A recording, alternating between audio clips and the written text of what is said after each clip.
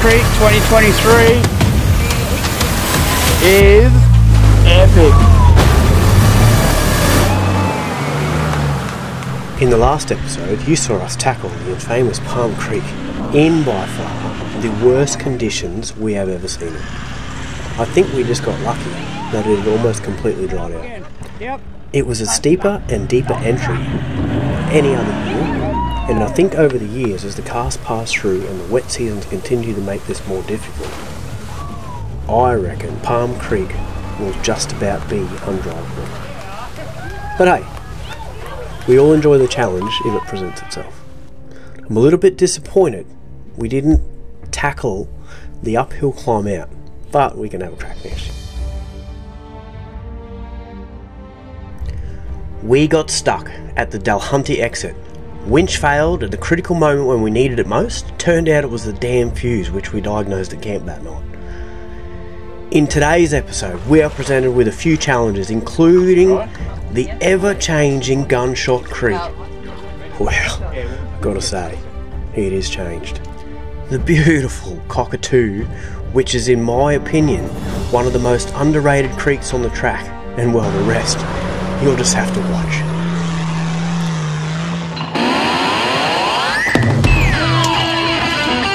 Right guys, here we are at Gunshot Creek, the famous Gunshot Creek. As you can see behind us, the track is not what it used to be. It used to be probably all the way up here and drop down. Quite more vertical. So it's very washed out, everything's changed. It's not it's not like Palm Creek. Palm Creek's the new Gunshot, I think. Um, you can't really get to the other tracks on the other side. It's 2023. And a bit excited, but I'm a little bit disappointed at the same time that we don't have the big gunshot anymore. So That's right. we'll get amongst it anyway. Get get up there and still do the do You the just hit it a bit harder. do the original. Bit quickie, you reckon? You just stand it off the top. Yeah, but good. yeah. And then Shell had a bit of a bit of a spiel.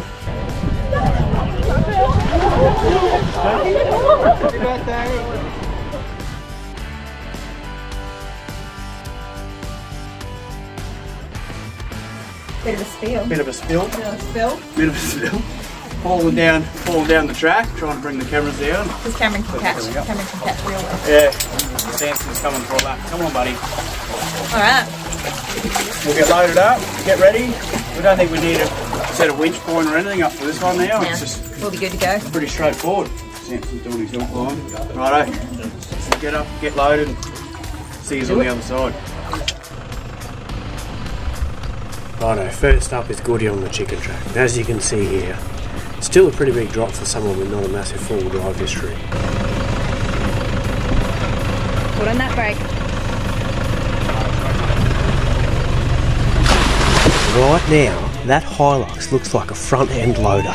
And I tell you what, mate, you could bloody well get a job up here on the road crew with that ability. Good drive there, Red Man. You go, mate? How was that? Good, mate. Good. Good? Just waiting for these lads. Bit excited? you have a look at the front of your car yet? it's a bit late, mate. Got a bit on. Get the clean.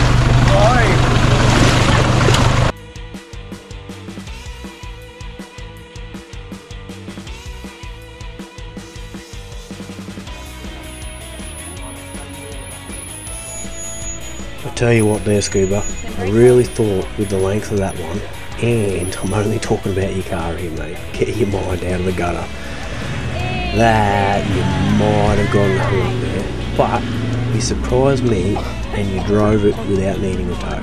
Great job, mate.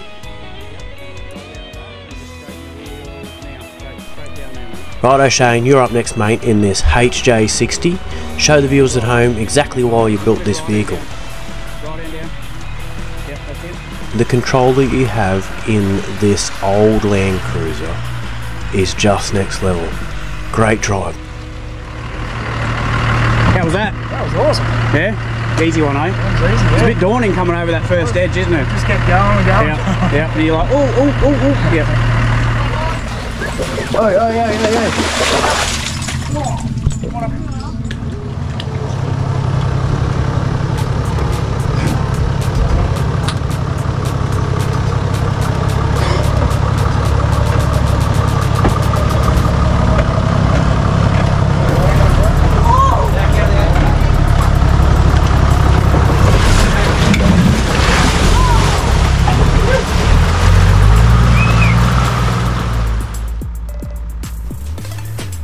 yeah. looking back, because we didn't have the steep entry like the original gunshot, I think we underestimated the track a little bit on this one.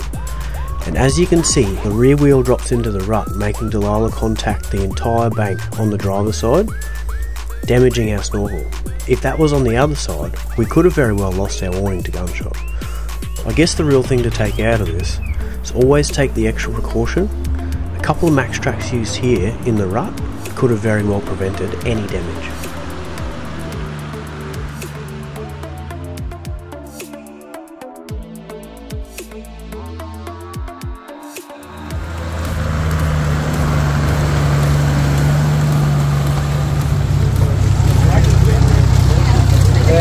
How's that, Cameron? Hey? How's that? Hey, that was that was different, eh? That was Like we rubbed right up the side of that bank. To look at that. That was soft. Snorkel. That's the only damage. Yeah. Yep. Down there. Just cleaned it up a bit. That would have destroyed our canopy if we did that. He's at the exit.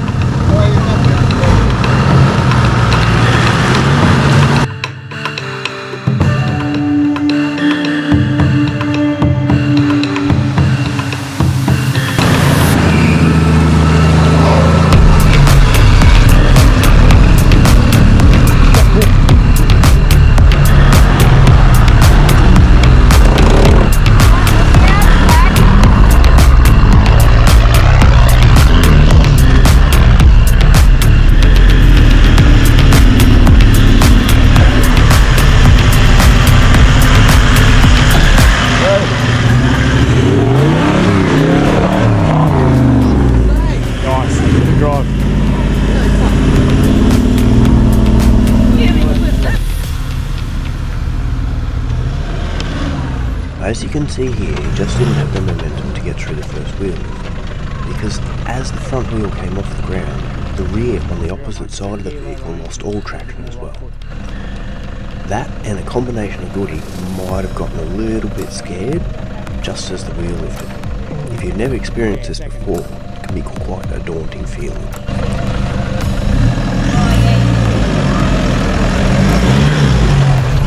Quick reset, a little bit more right foot, gets him up there. Nice, mate. Good drive.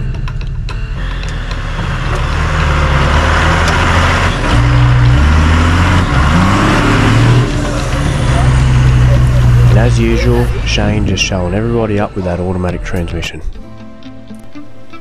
Cockatoo Creek. What a beautiful spot. We stopped here for a quick lunch, a beverage, and a swim. This place here never ever disappoints. Its majestic scenery in the remote part of the country just never lets you down.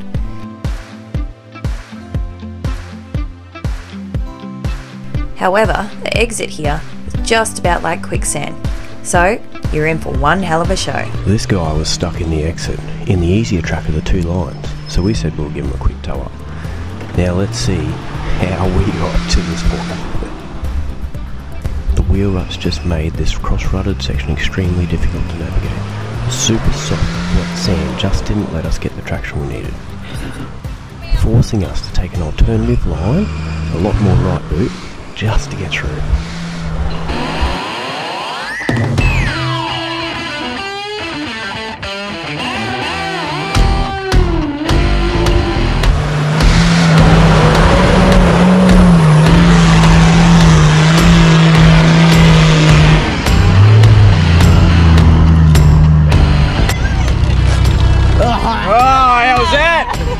It, mate. Full send. Just need more berries. Told you needs more berries.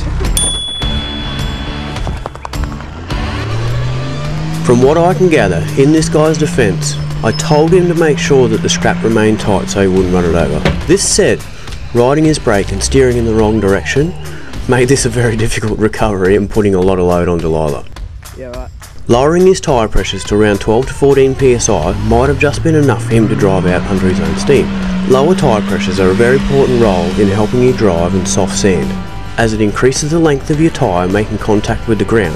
But hey, at least he's given it a crack and getting amongst the four-wheel drive community.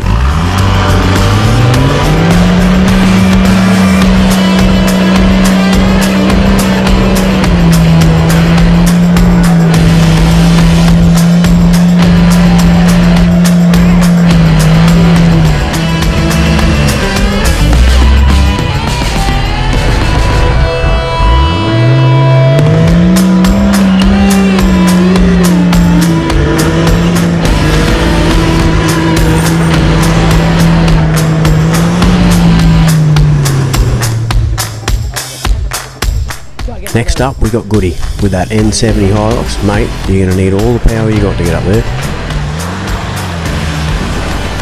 Ah, yeah, you can see those Max tracks just did their thing. Provided the extra grip for you to be able to get up there. Good job.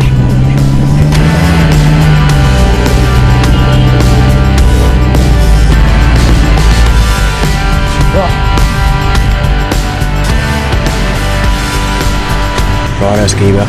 Your turn, mate. Guys, just have a listen to the PVA. Ah, mate, you were nearly there. Maybe another max track under that left-hand wheel. Have well seen get up.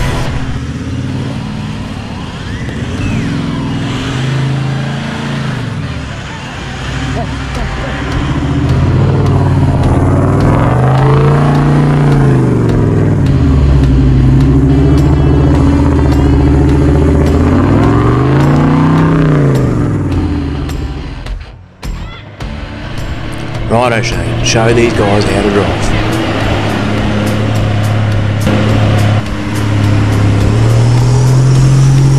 Ah, unlucky, mate.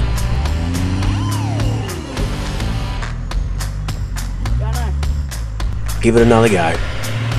Quick reset, different line to avoid the ruts. A little bit more bunty, see Shane gets through no worries. If only you didn't have a muffler, that loud pedal would have a little bit more note. How was it? Love that. Love Good.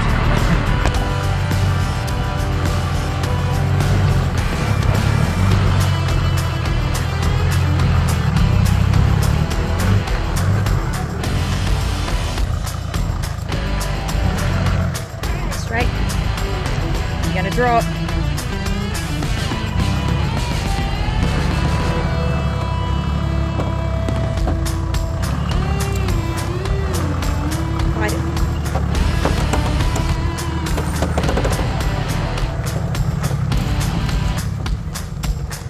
For an old Leaf Sprung 75 series, I'm pretty impressed with the way the suspension has flexed. The Terrain Tamer parabolic leaves have proven their worth in this moment, and without this suspension setup, there is no way my old stiff bus would ever have driven this washed out section of track.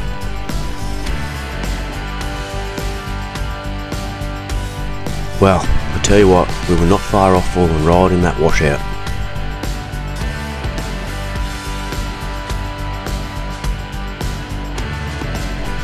If we had our time over again, Shell wouldn't have been alone out the front trying to direct the vehicle and film, all whilst trying to navigate the ground so she stayed on her feet. Now, Canal Creek. Whilst there are many impressive line choices you can attempt to navigate your way in and out for the die-hard four-wheel drive fan, many tracks will see you needing a lot more vehicle mods to challenge some of the more impressive uphill climbs of this creek crossing. There is a simpler path you can follow to avoid any real difficulty. The scenery here is just captivating. With crystal clear waters, small waterfalls, and many deep pools, you can always find a nice spot to yourself.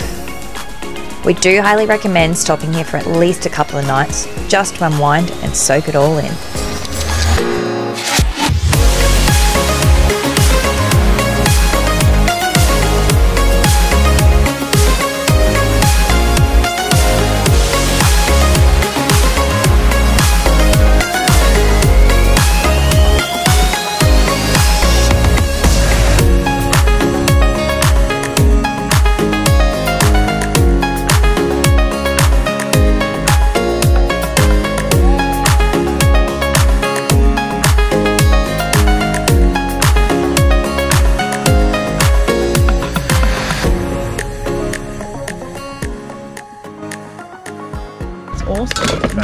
Find a spatula so I can make a birthday cake. Because, you know, we don't want her to miss out on the birthday cake. She goes to me, what's my birthday present? I said, oh, you got a bull bar coming for you, car. What more do you want? Woman? Bloody hell. She noticed at first, she said that uh, Cam's got budgies on, they look pretty cool.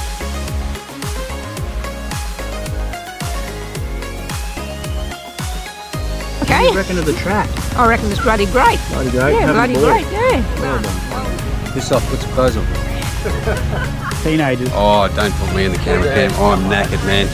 knackered. Old and busted, yeah. But this Track's is the man broken. who drove Palm Creek. well, I had a little bit of assistance. how'd it go? man. A little bit of assistance, mate. I went down it. and That's about it. Palm Creek, better than Gunshot this year. Yeah, wasn't it? Yeah. Yeah. Yeah, we did gunshot as well. We did alright in gunshot. Did need a tow out. Ah, well, what a birthday. Waking up surrounded by water at Bertie Creek, conquering some epic four wheel driving, exploring a few of my favourite falls, and last but not least, being treated to a surprise group cooked double layered canned oven birthday cake. Definitely one that I will always cherish for a very long time. Thanks, guys. Big love.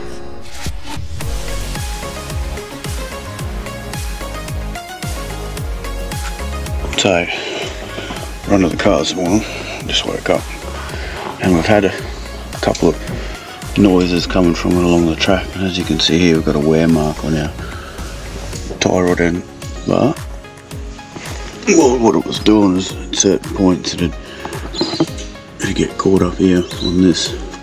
This here was rotated a bit further around. So this morning I jumped under it, just undid it and rotated it back around. So when you're steering and it's all you know you're articulated. It's not gonna it's not gonna rub and get caught on, on each other. See here on this end this one doesn't have that problem because it doesn't doesn't rotate and come up that far. So if you've got an old Land Cruiser like this one old 75 series just take note of where that actually sits. And uh, try and avoid this if you can go finish the old telly. So we got all the water crossings coming up today, so just a little bit of maintenance 101 before we go through it all and do it all. Here he is, the boy. Hey, sit down, sit down. Say hello. Hey, hello. so, yeah, someone wants to get a snuggle, don't ya? Oh boy. Hello.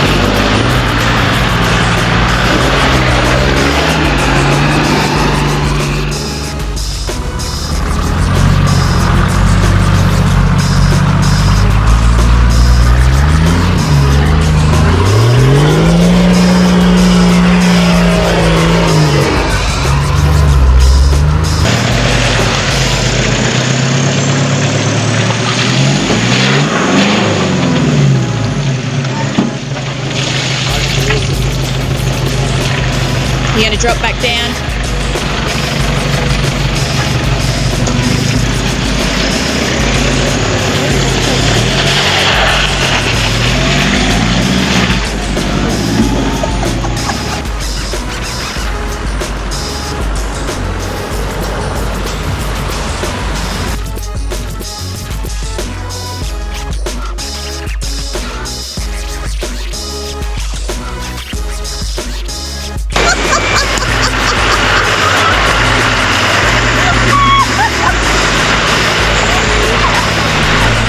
Two guys sitting down here, if you're watching us now, and you can leave a comment below explaining the conversation we had at Sam's Creek, we'll send you a couple of Bernie shirts and some stickers.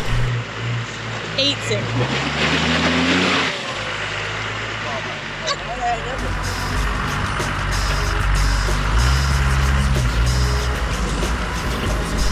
Man, you drove the auto that slow you stalled it. And I reckon if I had a 60 as nice as yours, I'll probably do the same. The way you drive and look after it, I really envy your devotion to that beer hauler. By the way, mate, it's your shout at camp tonight after that drive.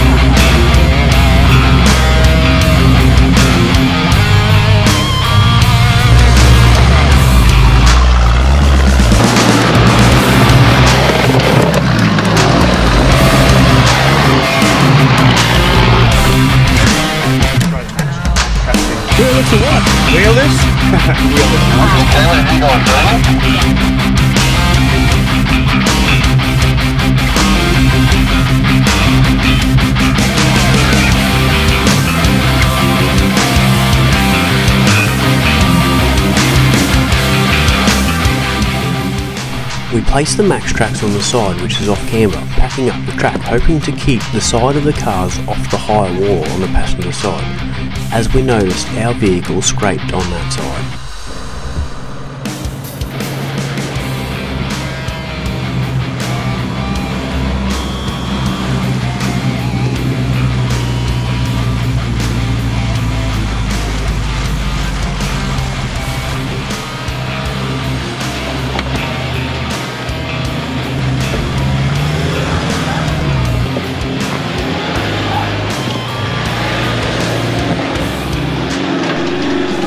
Quite think this was the line Goody intended to drive. However, with the wheel being lifted sometimes, you just don't have full control. Still, he wasn't the only one we witnessed get thrown over there unintentionally.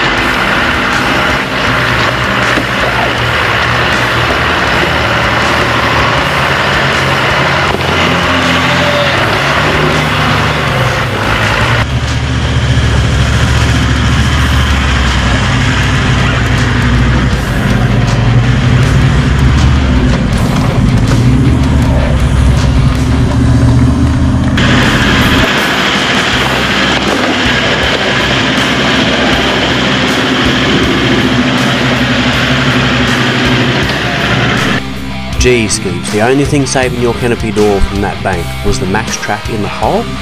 They're well worth every penny when it comes to saving panels on your vehicle, I'll tell you that. Those diff locks make all the difference with you being able to drive up there with that much control. Well done, mate. Good drive.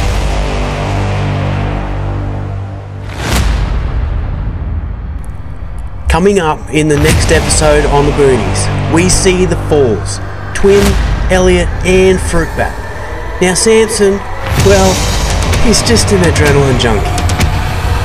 We take on the northern end of the track with Cypress Log Bridge, Logan Creek. Man, this is boggy. Plenty of track building and digging. We swamp the car, and Shell's not impressed as this muddy water is putrid. And of course, the one and only car claiming Nolan's Brook.